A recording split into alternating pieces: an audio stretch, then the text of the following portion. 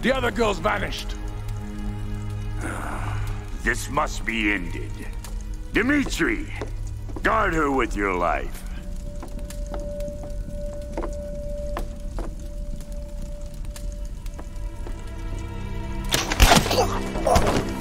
Lara! Oh my god, you're here! I was beginning to think I was going crazy. It's okay. It's okay. It's gonna be okay. My weapons. How are we ever going to get out of here? We need to leave before he comes back.